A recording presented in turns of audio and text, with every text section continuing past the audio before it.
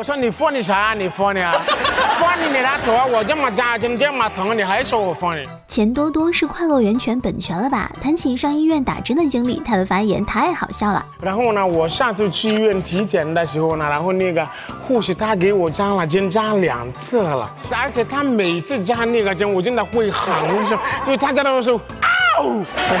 然后，然后旁边的那些人很讨厌，真的。然后他们偷偷在笑。然后有一个女孩，她走走过来说：“Oh my God, you are very funny。”我说：“你 funny 啥？你 funny 啊？funny 你那头啊！我这么扎针这么疼，你还说我 funny？我哪的 funny 的？”看来已经掌握中国话的精髓了。当他说起去朋友家的经历，一语道破天机。我去我朋友家在中国，然后呢，来到他的家，我已经给他打电话说你在家吗？他说马上到。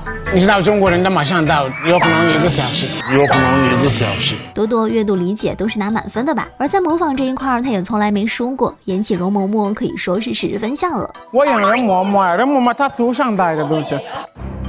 容嬷嬷，Now you say，Now you say，老奴在。对，先踢一脚。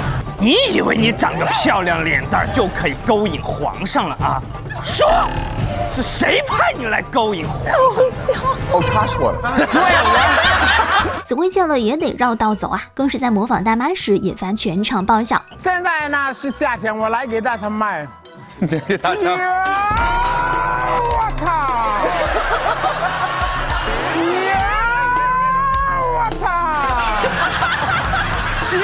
我操！Hello Hello。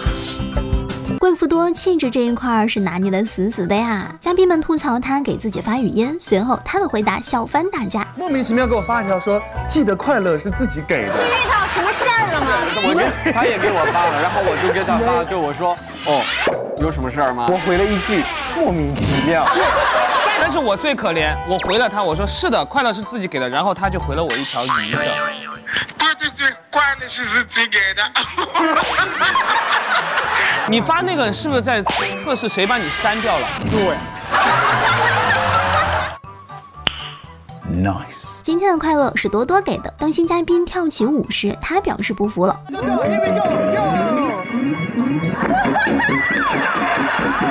表情赢了。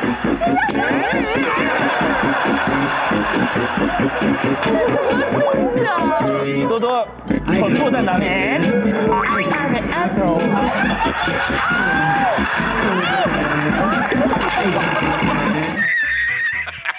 这才是顶级社交牛逼症患者呀！